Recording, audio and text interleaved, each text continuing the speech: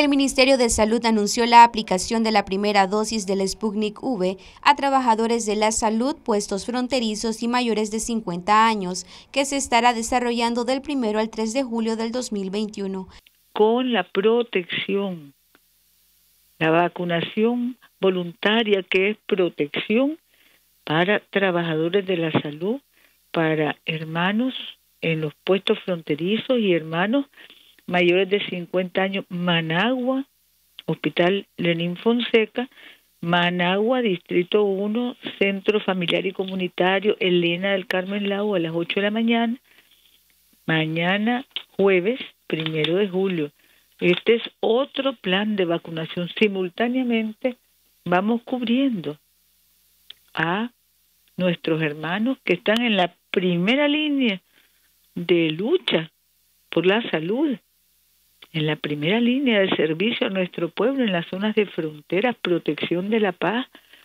un plan, segunda dosis, otro plan, primera dosis para hermanos y hermanas que todavía no lo habían no lo habían recibido en el sector salud, trabajadores de frontera. El SILAIS Managua tiene una cobertura de mil dosis que se estará aplicando en el Distrito 2 de Managua en el Hospital en Fonseca a partir de las 8 de la mañana. También en el Distrito 1 se estará aplicando la Covishield en el Centro Familiar y Comunitario Elena del Carmen Lau a las 8 de la mañana. Con respecto a la segunda dosis del Sputnik V, se aplicará este jueves en el Hospital en Infonseca, en Ciudad Sandino, y la segunda dosis de la Covishield se aplicará en el Distrito 1, en el Distrito 7, en el Policlínico Iraní, en Ticuantepe, en San Rafael del Sur, en León, Chinandega, Matagalpa y Sébaco. Mañana, primero de julio, estamos en el Policlínico clínico Iranieque Managua a las 8 de la mañana en Ticuantepe, en el Hospital Amistad México, Hospital Primario,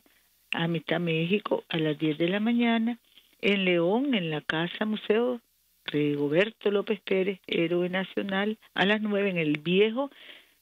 Puesto de Salud Esquipulas, a las 9 en Matagalpa, en la Silais a las 9, en Sébaco, casa de atención a personas con necesidades especiales en Ciuna, esto es en, en Cebaco a las 11 de la mañana,